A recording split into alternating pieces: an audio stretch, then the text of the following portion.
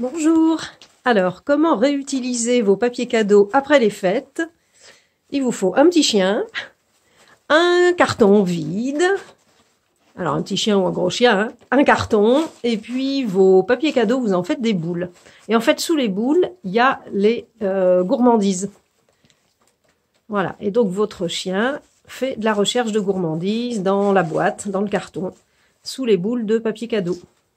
Comme ça, on réutilise les papiers cadeaux avant de les jeter, et ça fait une activité de recherche pour le chien.